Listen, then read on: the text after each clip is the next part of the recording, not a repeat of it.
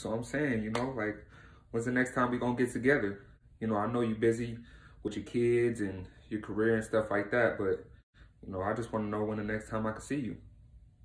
yeah, babe, I'm sorry. I've just been super busy with work and the kids and everything else like that. But I do think I'll have a little bit of free time April 24th, 2025.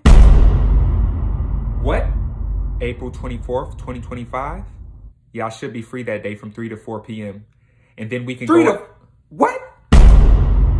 So not only do I gotta wait till 2025 to see your ass, but then on a day that we supposed to meet in 2025, you only gonna be available for one hour? I know, babe, but you have to understand I have two jobs on top of going back to school, trying to start my own business, and two kids I have to spend time with.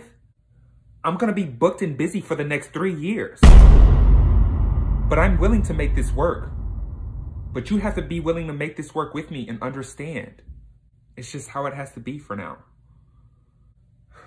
I'll pick you up 3 p.m. sharp, April 24th, 2025. It's a date then. Ah, I cannot wait.